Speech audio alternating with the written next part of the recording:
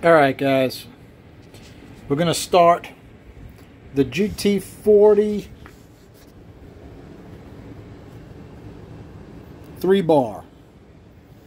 Now, I didn't realize I had a question before on which GT40 it was. It seems there's uh, a 302 and a 351. They got different size head bolts, right? So this is, I can't even read that.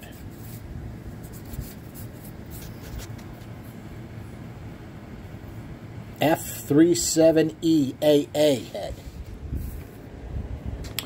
And the man that sent these to me wants to put them on a 351 and then basically bolt it into a skateboard.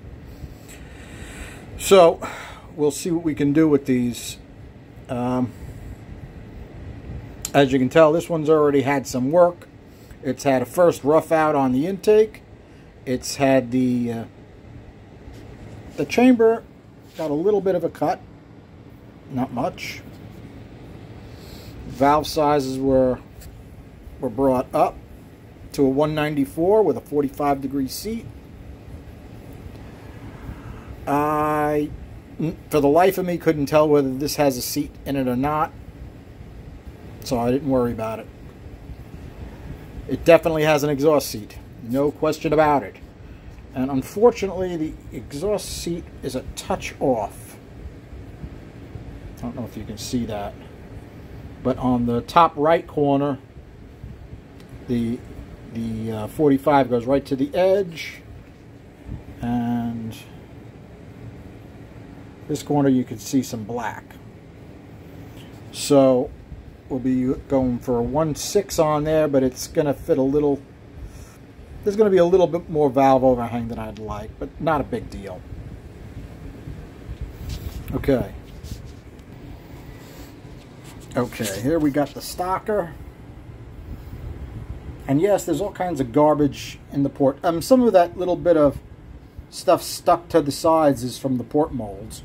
But there were, there was one port, actually the one that I, that I uh, started porting, they must have dropped, they must have dropped the mold when they were assembling it because the roof had at least an extra hundred thousands of really nasty, jaggy iron like that, but way, way worse. So it was 350 thousandths thick on the roof. These are nice and heavy castings. These are as heavy as the GT40Ps and the E7s. They, they got a lot of metal on them. I don't know how uniform that is as far as being thick. And you can see that this intake port is similar to the GT40P as far as the cylinder wall being kicked out, but not as radical, right? It's got a little bit different boss. It's got it's got a different uh, top cut. This has got a 20 degree top cut from Ford, which I thought was interesting, which actually I kept. I kept that 20 degree cut. I wanted to see how it worked. I can't get a focus on it to save my life today. Okay? All right. All right, the intake port is very similar to an E7, but it does have that kick out in the bowl. Other than that, the roof looks pretty much identical. The left wall looks almost identical, and even the floor, which was the roof in this place, is nearly identical. The short side radius is a touch different, but uh, it really is a mix between uh, an E7 port and a GT40P port. GT40P port is definitely wider at the bowl. Alright, here's the untouched one. You can see I opened up the pinch. I opened up the pinch a decent amount. You can tell that's definitely a little tighter. Come on.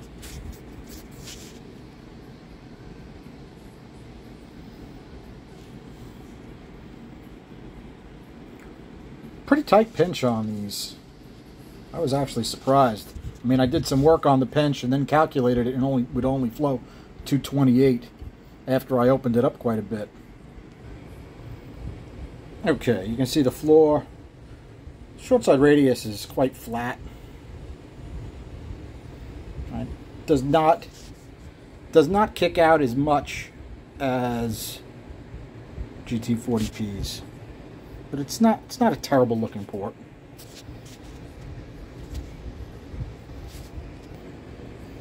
Okay, the one I did some work to, like I said, I brought the pinch out a little bit. Actually, I brought the pinch out quite a bit. I mean, I don't know, uh, I can probably take some more out of the straight wall. But it took a decent amount out of that. You can see I did a little work to the short side radius.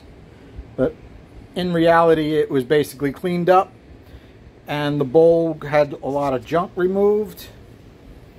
And then I brought it out to the new seat. So the bowl is not huge. The bowl towards the roof is relatively stock size. And it flares out to the bigger, the bigger valve. Okay, the exhaust got a decent workover. You can see I banged it up to a 1.6 valve. I did my radius. I kept the throat tight because I don't want to don't want to make that uh, insert too small, but I like a tight throat anyway. You can see I brought the outside wall out a little bit. I didn't take a huge amount off of the boss because uh, it's basically a cleanup. I want to see what, what a cleanup and a bigger valve is going to do. So that's what we did. Okay, it doesn't look radically different than the stocker, right? You can see the valve's a little bit smaller. Now these have different size valves than the GT40Ps. These come with 185s, 1.54s, same as uh, Windsor.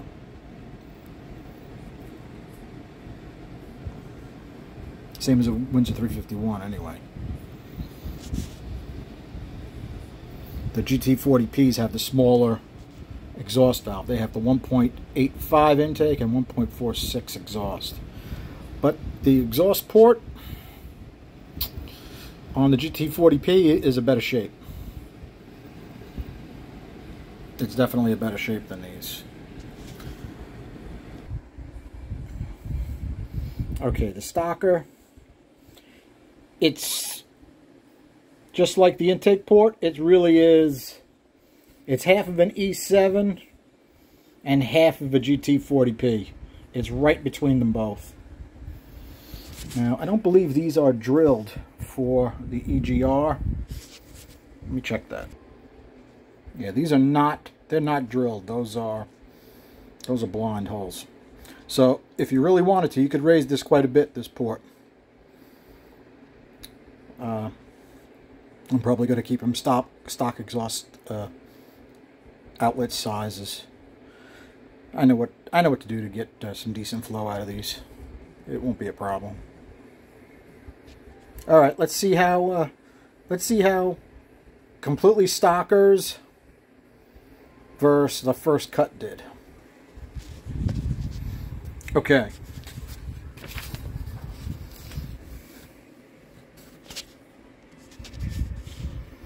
Okay, first two columns on the left are bone stock. I did not have a 1.54 inch valve. I just stuck a GM 1.5 in there. And it fit on the seat perfectly, but it has less shrouding, so I got a feeling those exhaust numbers are better than they usually would be.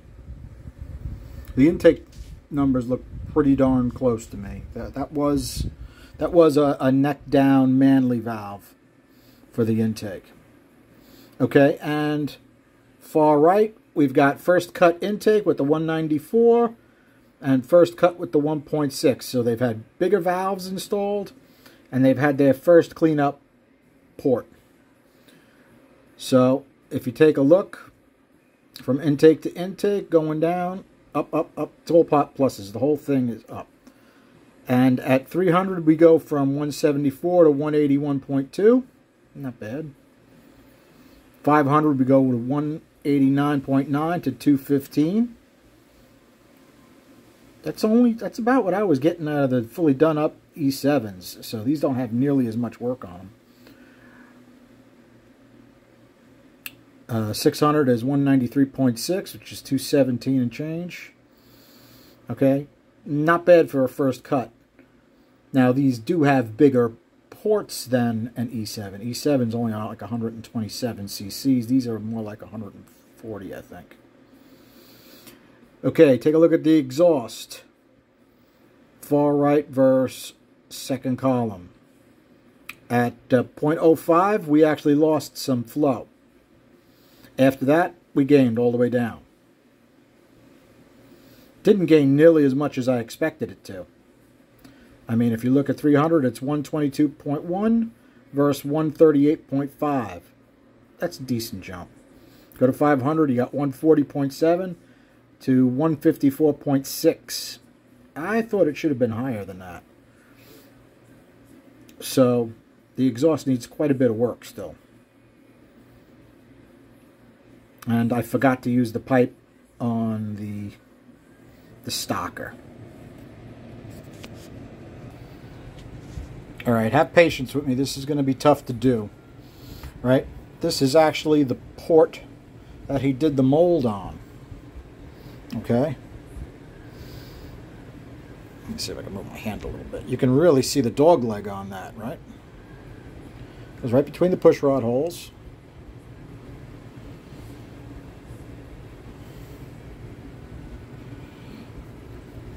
You take a look at the port sideways. Short side radius doesn't look that bad on this. It really doesn't look that terrible. Right? It does have, it's got a, a dent right here that we probably shouldn't have. But that lines up with the port bias. You can see the port bias. Let's see if we can put this.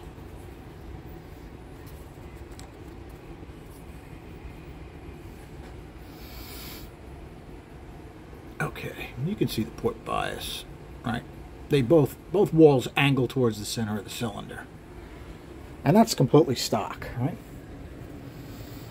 You can see the bowl, right, the way it's kicked out on, on this side. Makes a big difference right here. Look at how that's kicked out. That's nice.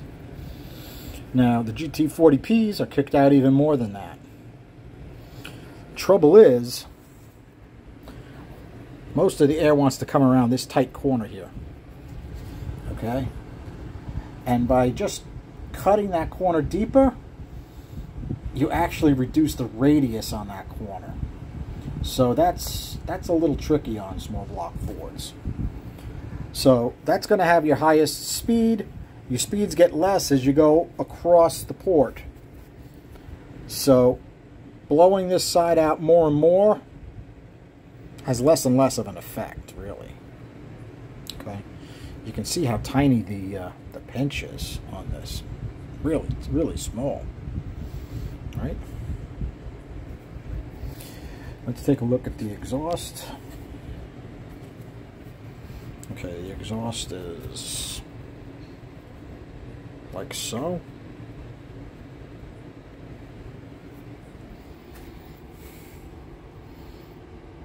You can see you can see how radically angled that is, right? Biased. This is actually the the machined cut. Right, when they do the valve job, they also machine this cut in the ball. Almost like a bowl hog, right? See if you guys can see that. Move my light. There you go. You can see that bowl cut, right? Then you can see that huge boss. Molds really are really are cool. I'm glad this guy sent me some molds. He's going to uh, send me some info on uh, how to do these. Short side radius is really nice, just that I think the outlet of the port should have been shrunk. It should have been more more like that. right? Raise that bottom up. It would have just worked better.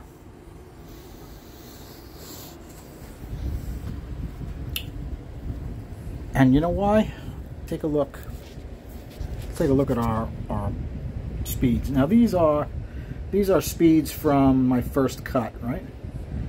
And overall, the speeds on the exhaust are not terrible, except for the center on the bottom where it was bouncing between 0 and 84. So as far as the top of the port, it's got it's got a decent handle on it, right? All 300 plus. Middle of the port, not bad. And the bottom of the port needs some serious work. As far as our air speeds for our first cut on the intake port, pinch is decent speed all the way through. Remember, I already opened this pinch up quite a bit. So that's going to get faster as I get more air through the port. All right, center of the cylinder on the roof has got a lot more velocity than the cylinder wall side. So that needs work. And the way it sits right now, I did work some work on the short side radius. It's relatively fast around that tight corner, right? 4, 412 and change is pretty damn quick. And then as you go to the scalloped out part of the the port, it drops down to 370. Overall, I think off to a really nice start. Uh, somebody's going to ask, why did you use 194, 16, and on 45 seats this time? Well, this is a more street-oriented 351 style engine. It's it's got to uh, it's going to be in a really light chassis. After I get these cylinder heads flowing what I know they'll flow, this thing's going to be uh, pretty serious. We'll, we'll have to run that through performance trends and see what uh, what it'll come up with. But if we were pushing 435 on Mikey's little 306, these already flow that throat flow is good. Now add 50 cubes to it. You know, you're inching on 500 horsepower, and I didn't even do any more work to the heads, right? Give or take a few horsepower. They'll probably come out to like 480 where they sit right now. I don't know. Can you make 480 at 217 CFM? I bet if you know what you're doing, you can. In fact, I know. I know you can. All right. Yeah, the combo would have to be spot on. Okay, I'll, I'll, I'll bite. Yeah, you're absolutely right. The combo would have to be spot on to make that much power. So, I got to do some more work to these.